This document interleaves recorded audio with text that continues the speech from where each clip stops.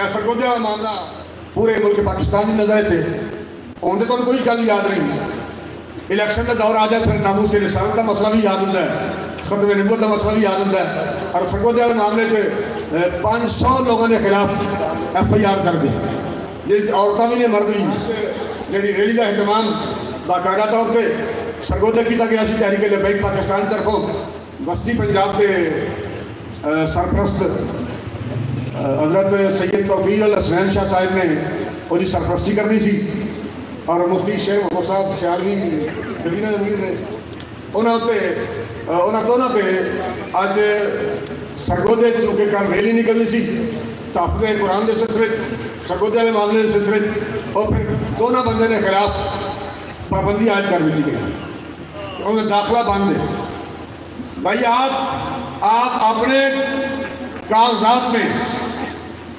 آرڈروں میں ان پر داخلے کی پابندی لگا سکتے ہیں، لیکن تحریک لبیک پاکستان عالم کفر کا کسی قانون کو نہیں جانتی۔ اگر ہم جانتے ہیں تو ہم صرف محمد عربی کے قانون کو جانتے ہیں۔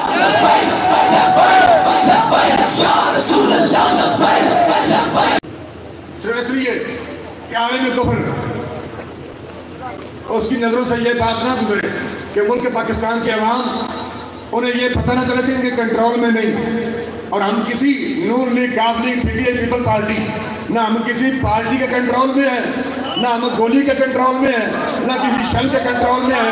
ہم نہ سیلنگ سے کرنے والے ہیں نہ گولیوں سے کرنے والے ہیں۔ ہم نے صرف اور صرف نبی علیہ السلام کی عزت اور ختم نبوت پہ اور قرآن مجید کے تحفظ کے لیے ہم نے پہرا دینا ہے۔ ہمیں اتنا پتا ہے۔ ہمیں یہ نہیں پتا آپ باب نے پیر تغیر الحسنین شاہ کاظمی صاحب کا بیان سماعت کیا ہے، اس کی وجہ کیا ہے؟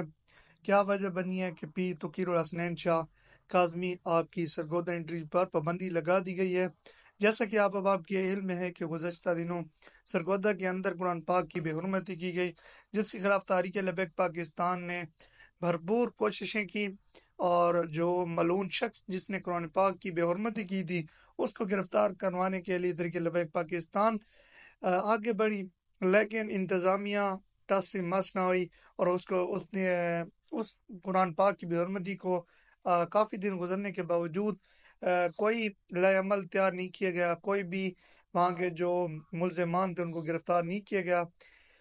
پھر طریقے لبیک پاکستان کی قیادت نے سوچا کہ اب کوئی اگلے لائے عمل کا اعلان کیا جائے، جس کے بعد طریقے لبیک پاکستان کے جو وہاں کی میاں والی کی انتظامیہ ہے اور جو کہ رکن شورا طریقے لبیک پاکستان، پیر تقیر الحسنین شاہ کاظمی، آپ نے ایک بہت بڑا اعلان کیا ہے، جو کہ آج اتوار کو سرگودا کے اندر ایک بھرپور احتجاج ریکارڈ کروایا جائے گا آپ کی قیادت کے اندر اور جیسے ہی پیر تقیر الحسنین شاہ کاظمی آپ نے مارچ کا اعلان کیا، احتجاج کا اعلان کیا اور اس احتجاج کے ایک دن پہلے وہ علامہ پیر تقیر الحسنین شاہ کاظمی آپ کی سرگودہ انٹری پر پابندی لگا دی گئی ہے۔ وہاں کی انتظامیہ کی جانب سے، لیکن یہ کوئی مارچ، یہ کوئی ریلی رکنے والی نہیں ہے۔ پیر تقیر الحسنین شاہ کاظمی آپ کی قیادت کے اندر آج بروز اتوار سرگودہ کے اندر بھرپور احتجاج ریکارڈ کروایا جائے گا اور جو ملزمان اس کو فوری گرفتار کرنے کا مطالبہ رکھا جائے گا۔